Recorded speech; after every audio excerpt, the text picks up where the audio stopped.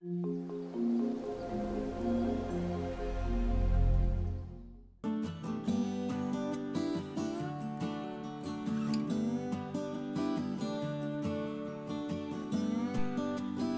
mình xin chào cả nhà, chào mừng cả nhà đã quay trở lại với kênh Hương vị quê nhà Vlog. Và hôm nay thì mình cũng muốn chia sẻ cho cả nhà cùng xem cách làm mới về món tàu hũ non lá dứa nước cốt dừa nè. Thì với cách làm ngày hôm nay thì mình không có cần sử dụng đường nho hay là thạch cao. Nhưng mà tàu hũ non sau khi làm ra xong thì cực kỳ mềm mịn và rất là thơm mùi lá dứa và món tàu hũ non này mình sẽ ăn cùng với nước cốt dừa béo ngậy và kết hợp với những cái viên trân châu mềm dai và quyện vào rất là ngon Cả nhà xem clip nếu thích cách làm cái món tàu hũ non lá dứa nước cốt dừa của mình thì hãy cùng làm chung với mình cho vui. Và cũng đừng quên bấm cho mình một đăng ký kênh, like và chia sẻ cho nhiều người cùng xem để ủng hộ cho mình nha.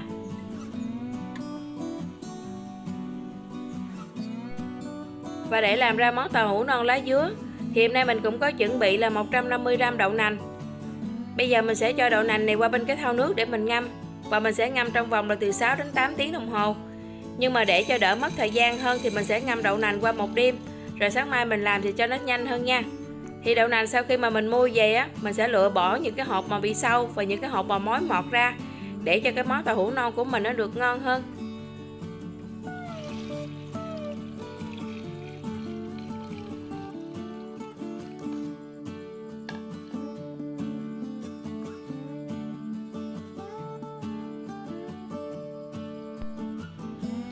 Đậu nành sau khi mà mình ngâm qua đêm khoảng được 8 tiếng đồng hồ thì bây giờ nó cũng đã nở gấp đôi rồi nè. Và mình sẽ qua mình bóp cho cái vỏ đậu nành này nó tách ra, để cho cái món tàu hũ non của mình nó được mềm mịn và ngon hơn.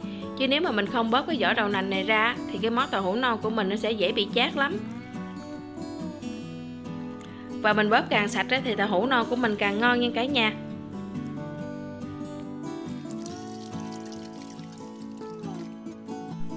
Bây giờ thì mình lại tiếp tục cho nước vào trong đậu nành. Rồi mình cứ bóp như vậy để cho cái vỏ đậu nành nó tách ra. Và mình sẽ làm hai ba lần như vậy thì cái đậu nành của mình nó sẽ sạch vỏ à.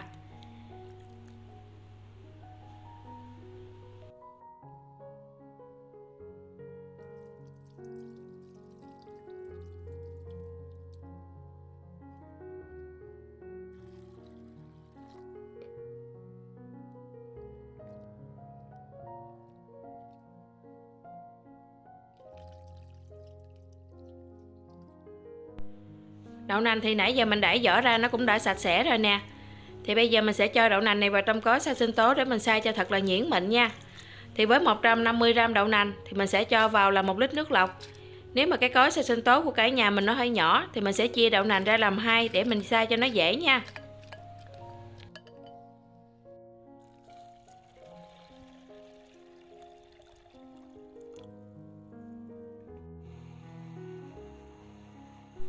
Đậu nành thì mình xay ra nó cũng đã rất là nhuyễn mịn rồi nè. Và bên đây thì mình cũng có chuẩn bị một cái bông. Bây giờ thì mình sẽ cho cái phần sữa đậu nành này vào trong cái bông Để mình bóp, mình dắt lấy nước nha.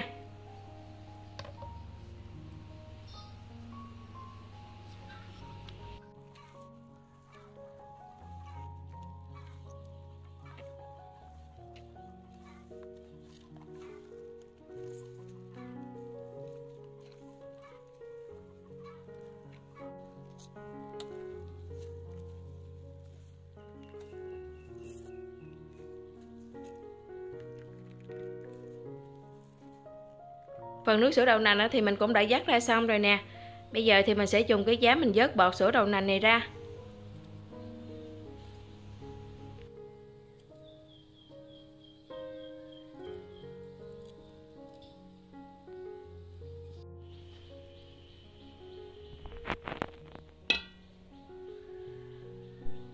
Hôm nay thì mình sẽ làm cái món tàu hũ non lá dứa. Thì ở đây mình có chuẩn bị là 80g lá dứa nè thì lá dứa này mình cũng đã rửa sạch sẽ rồi. Và để cho cái màu tàu hũ non của mình nó được đẹp hơn á, thì mình à, sẽ lựa chọn những lá dứa mà nó màu đậm như vậy nè. Thì nó sẽ rất là đẹp và cực kỳ thơm luôn. Bây giờ thì mình sẽ cho cái lá dứa này vào trong cối xay sinh tố để mình xay lấy nước. Thì với 80g lá dứa thì mình sẽ cho vào là 150ml nước lọc để mình xay lấy nước ra nha cả nhà. Nước lá dứa thì mình cũng đã dắt ra xong rồi nè. Và hôm nay thì mình sẽ làm cái món tàu hũ non lá dứa thì mình không có sử dụng đường nho hay là thạch cao mà mình chỉ sử dụng cái bột rau câu con cái dẻo. Thì bịch bột rau câu con cái dẻo này là 10 gram, nhưng mà mình chỉ lấy là 5 gram để mình làm cái món tàu hũ non thôi. Thì 5 gram tương đương với là hai muỗng cà phê dung nhân cả nhà. Và bên cạnh đó thì mình sẽ cho thêm vào là hai muỗng canh đường cát. Và thêm 10 gram bột gạo, thì 10 gram bột gạo tương đương với là một muỗng canh dung. Và hôm nay thì mình cũng muốn chia sẻ cho cả nhà cùng xem thêm một cái bí quyết để làm ra cái món tàu hũ non đá dứa được thơm ngon và béo hơn. Ở đây thì mình cũng có chuẩn bị thêm một cái bịch sữa tươi không đường. Thì bịch sữa tươi này là 220ml và thêm 100ml sữa đặc nữa nha. Bây giờ thì mình sẽ cho đường cát vào trong tô nè. Và kế tiếp thì mình sẽ cho bột gạo vào luôn. Sau đó thì mình sẽ cho cái bột rau câu con cá dẻo vào trong tô luôn nè thì bịch bột rau con cá dẻo này là 10 gram, nhưng hôm nay mình chỉ sử dụng là 5 gram thôi. Thì à, 5 gram à, tương đương với là hai muỗng cà phê đầy nha cả nhà. Nếu mà mình cho cái bột rau câu nhiều vào á, thì nó sẽ làm cho cái tàu hũ non của mình nó bị cứng và không có ngon. Rồi sau đó thì mình sẽ trộn lên cho nó đều. Sữa đậu nành thì mình cũng đã vớt bột ra xong rồi. Và bây giờ thì mình sẽ cho đường, bột gạo và rau câu vào trong cái sữa đậu nành mình cho từ từ vào như vậy rồi mình sẽ quậy cho cái bột đường và rau câu nó hòa tan ra.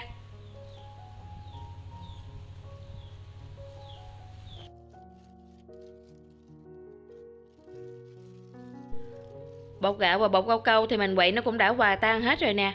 Bây giờ thì mình sẽ cho sữa đậu nành này vào trong cái nồi để mình nấu. Và trong lúc mình nấu sữa đậu nành á, thì mình sẽ để với cái lửa vừa thôi. Mình đừng có để lửa lớn quá thì cái đậu nành của mình nó sẽ dễ bám dưới đáy nồi và nó cũng sẽ dễ bị khét lắm và bây giờ thì mình sẽ vớt bọt để cho cái sữa đậu nành của mình đó, nó sẽ không còn bọt nữa. Rồi mà trong lúc mà mình nấu đậu nành á, thì mình sẽ quậy liên tục trên cái nhà.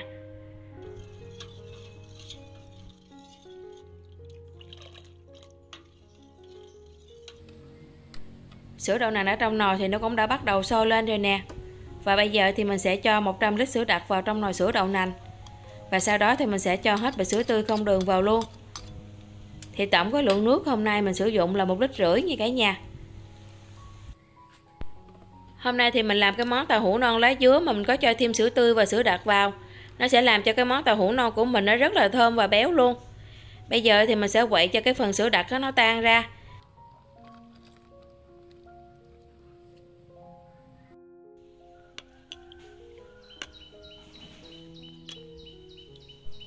Bây giờ thì cái nồi nước sữa đậu nành nó cũng đã bắt đầu sôi lên rồi nè.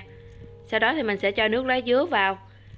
Sau khi mà mình cho nước lá dứa vào xong rồi thì mình nấu cho nó sôi lại một lần nữa rồi mình sẽ tắt bếp liền. Mình đừng có nấu cái sữa đậu nành lâu quá thì nó sẽ làm cho cái màu lá dứa của mình nó sẫm màu và nó không còn tươi nữa.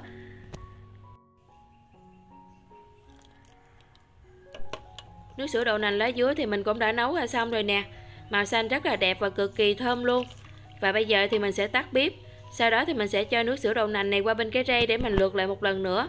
Để mình loại bỏ những cái xác lá dứa còn sót lại thì cái món tàu hũ non của mình nó được mịn màng và ngon hơn. Lúc này thì cái nước sữa đậu nành nó rất là nóng cho nên mình sẽ làm cho thật là nhanh tay. Để cho nước sữa đậu nành nó xuống nhanh hơn chứ nếu mà mình làm chậm á, thì cái nước sữa đậu nành của mình nó sẽ đông đặc lại nha cả nhà. Nước sữa đậu nành lá dứa thì mình cũng đã cho bên cái rây mình lượt xong rồi nè và bây giờ thì mình sẽ vớt bột một lần nữa cho thật là kỹ, để cho cái bề mặt thao tàu hũ non của mình nó được láng mịn và đẹp hơn.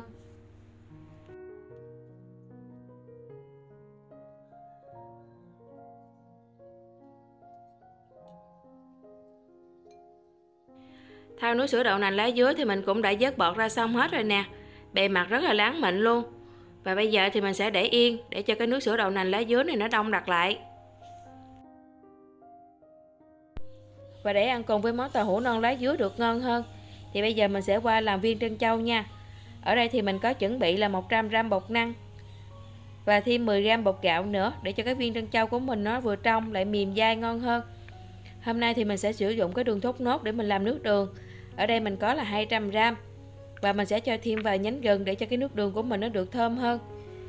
Nguyên liệu thì mình cũng đã chuẩn bị xong hết rồi. Và bây giờ thì mình sẽ bắt đầu mình làm cái viên trân châu đầu tiên thì mình sẽ cho hết 100g bột năng vào trong tô nè. Và kế tiếp thì mình sẽ cho thêm vào là 10g bột gạo nữa. Rồi mình sẽ trộn cho bột năng và bột gạo nó đều lại với nhau. Bây giờ thì mình sẽ cho nước thật là sôi vào trong bột sau đó thì mình sẽ trộn bột từ từ. À, mình cho vào như vậy mình thấy cái bột mà nó còn khô á, thì mình cứ cho thêm nước. Còn nếu mà mình thấy cái bột của mình nó hơi mềm nó không có hút nước á thì mình có thể cho thêm bột vào. Và mình sẽ nhồi bột đến khi nào mình thấy bột dẻo và không có còn dính tay nữa thì lúc đó cái phần bột của mình đã được rồi đó.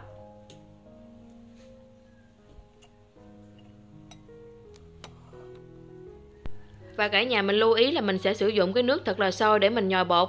Chứ mình đừng có sử dụng cái nước ấm hoặc là nước lạnh á, thì cái bột của mình nó bị chảy, lúc đó mình không có nhồi được nha.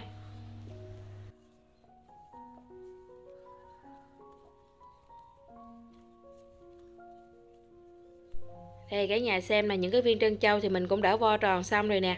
Mình rất là thích làm những cái viên trân châu nhỏ như vậy, nhìn nó rất là dễ thương luôn. Bây giờ thì mình sẽ cho những cái viên trân châu này qua bên cái nồi nước sôi để mình luộc. Mình luộc đến khi nào mình thấy những cái viên trân châu nó nổi lên và nó trong lại thì lúc đó những cái viên trân châu của mình đã chín rồi đó.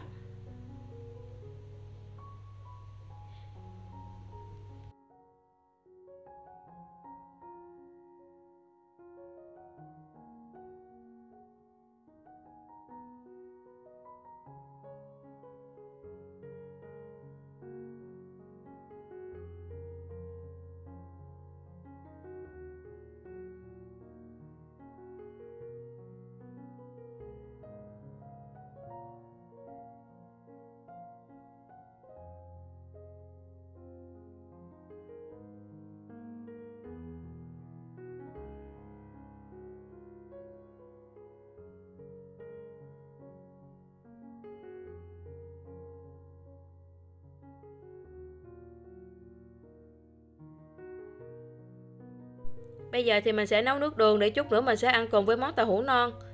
Mình cho vào là 200ml nước lọc và mình sẽ nấu cho cái đường thốt nốt nó tan chảy ra. Và sau đó thì mình sẽ cho gừng sợ vào luôn để cho cái nồi nước đường của mình nó được thơm hơn. Nếu mà cả nhà ăn cay không được thì mình cho ít gừng vào thôi nha.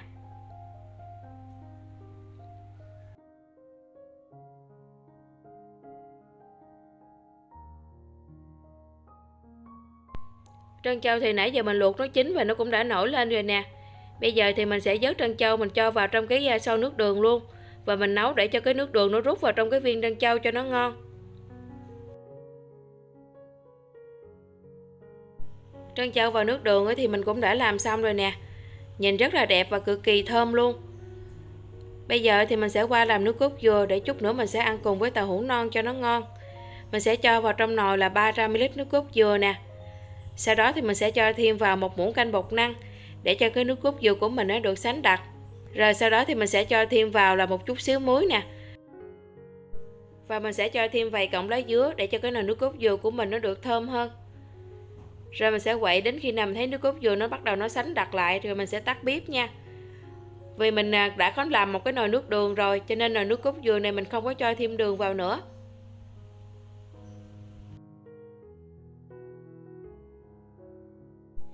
Và sau thời gian 4 tiếng đồng hồ thì cái thao tàu hũ non lá dứa của mình nó cũng đã đông đặc lại rồi nè. Màu xanh lá dứa rất là đẹp và cực kỳ thơm luôn. Về bề mặt của thao tàu hũ thì nó cũng rất là láng mịn nữa. Hôm nay thì mình sử dụng cái lon bia để mình múc tàu hũ nè. à, vì cái lon bia nó mỏng cho nên mình múc tàu hũ ra thành những cái miếng mỏng nhìn cho nó đẹp. Bây giờ thì mình sẽ bắt đầu mình múc tàu hũ ra ngoài cái chén cho cả nhà cùng xem. thì cả nhà xem nè bề mặt cái tàu hũ non lá dứa của mình nó cực kỳ là láng mịn luôn. Và tàu hũ sau khi làm ra xong thì nó rất là mềm mại nữa. Đây, cái nhà xem là nhìn ngon ghê chưa? À, mình không có múc chuyên nghiệp cho nên mình múc cái miếng tàu hũ non nó cũng chưa có được đẹp cho lắm. À, tàu hũ của mình nó cực kỳ là mềm mại luôn á cả nhà.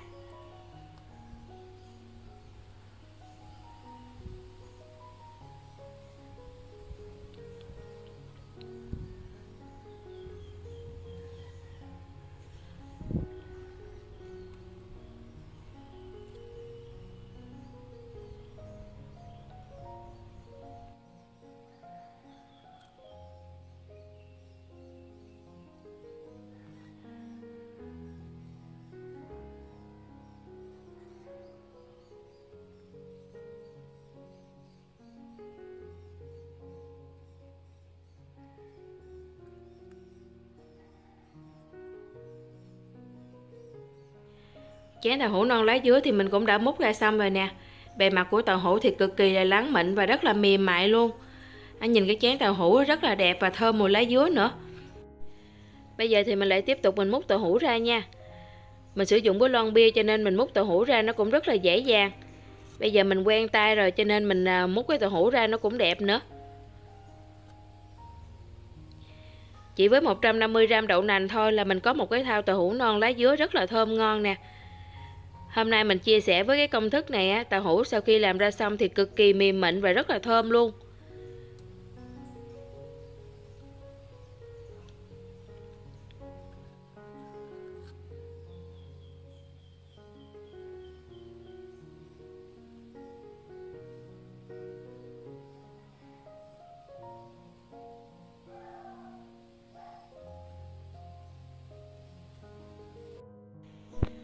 Tàu hũ non lá dứa thì mình cũng đã múc ra xong rồi nè. Màu xanh của lá dứa thì rất là đẹp và cực kỳ thơm. Bề mặt của tàu hũ thì rất là láng mịn nữa. Bây giờ thì mình sẽ dùng cái muỗng á, mình múc cho cả nhà xem cái độ mềm mại của miếng tàu hũ non nè. Rất là láng mịn luôn. Bây giờ thì mình sẽ cho trân châu và nước đường vào trong cái chén tàu hũ nè. Mình nấu vào trân châu chung với nước đường á, cho nên cái viên trân châu của mình nó rất là bóng và trong. Thì kế tiếp mình sẽ chan nước cốt dừa lên. Hay cả nhà xem là nhìn cái chén tàu hũ non của mình ngon ghê chưa?